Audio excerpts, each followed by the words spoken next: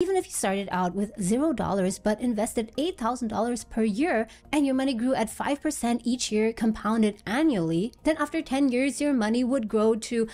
$100,623.14. According to this annual survey here conducted by Pollara Strategic Insights, it found that millennials are more likely to hold savings in cash, 57%, compared to Gen Xers and boomers who are more likely to put their savings into investments, 54% and 64% respectively.